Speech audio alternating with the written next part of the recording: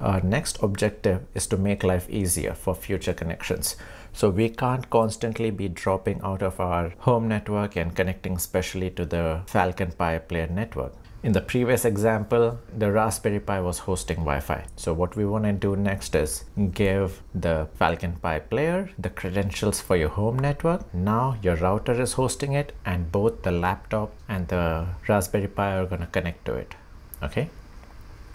So the key advantage we get here is everyone is on the same network and if this is your home network, you don't even have to drop anything. You can directly type in the address and talk to the Pi. Primary advantage is your home router is most likely connected to the internet.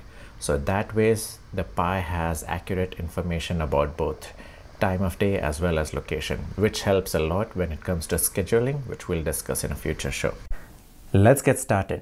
Let's get our Raspberry Pi connected to the show network. For that, step one, go to status and control, hit network settings. In network settings, as you can see, there are two options, ETH0 and WLAN 0. ETH0 is related to Ethernet while WLAN 0 is related to Wi-Fi. In this tutorial, we are focusing primarily on Wi-Fi since that's the most convenient. So step one, here you have to put your WPA SSID, which is your home network SSID and password. Sometimes this screen may take a little while to populate. So in case you don't see the options, just click out somewhere, scroll a little bit and click back in and you should see your options. Don't try and type out your exact network name. Once the list is populated, make sure to click the appropriate network that you want, whether it's your home network or a dedicated show network that you've created. Make sure to pick the appropriate SSID and password and hit update interface. Now that should be it in terms of basic credentials for your Raspberry Pi to connect to your home network. So what that would do is the next time the Raspberry Pi boots up, since it has credentials to connect to the network and if the network is available, it will connect to your home network. That's it.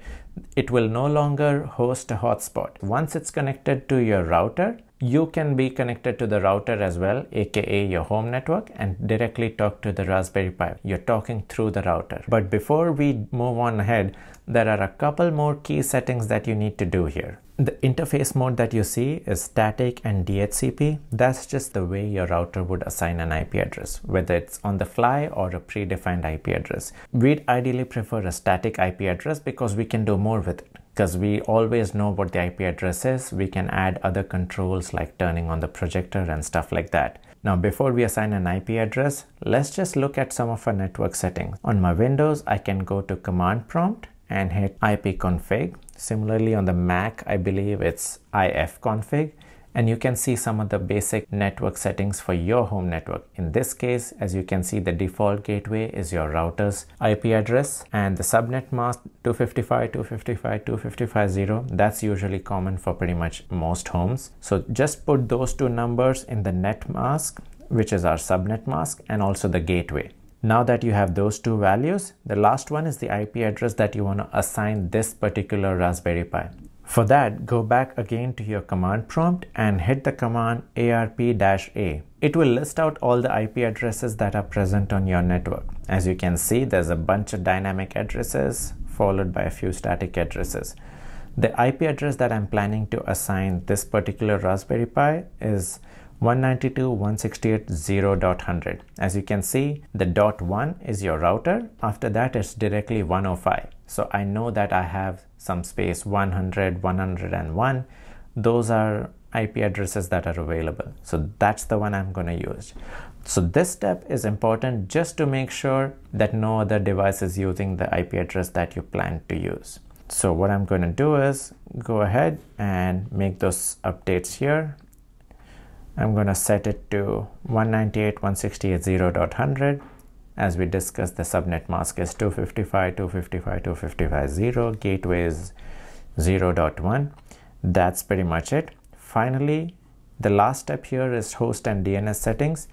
In here, give it an appropriate name. In this case, I'm just going to call it FPP master because this is the first Raspberry Pi I'm configuring and also this will be used to configure other Pis in future videos. So that's why I'm calling it master. Where it comes to DNS servers, just use the settings that I've listed below. One of them is my router's IP address, the other one is Google's router IP address. In my opinion, it doesn't really matter much, but that's what the manual says. Now, once you've done this and you boot up your Raspberry Pi, you should be able to connect to this Raspberry Pi using the IP address that shows up on the monitor screen.